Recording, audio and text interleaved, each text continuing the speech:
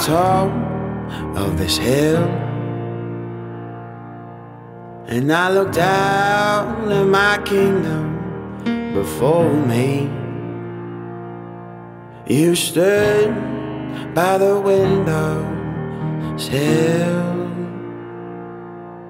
and I wanted to talk to thee.